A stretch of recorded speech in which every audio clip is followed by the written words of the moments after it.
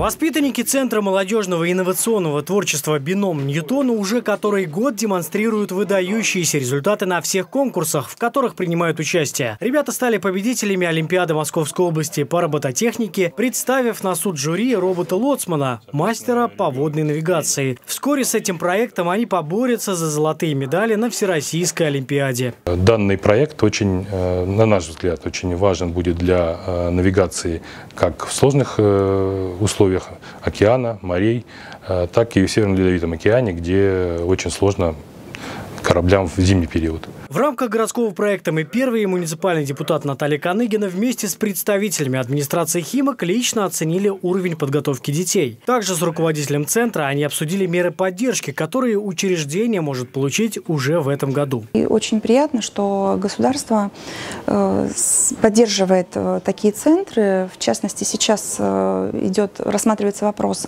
о подаче документов на получение субсидий Московской области. Чуть позже можно будет рассмотреть э, подачу документов на субсидию э, муниципальную для, того, для поддержки э, развития данных направлений. Своими заслугами воспитанники обязаны наставникам, ведь преподавательский состав Центра молодежного и инновационного творчества «Бином Ньютона» один из самых титулованных в Центральном федеральном округе. Подобные встречи с юными изобретателями и педагогами проходят в рамках проекта предпринимательства партии «Единая Россия».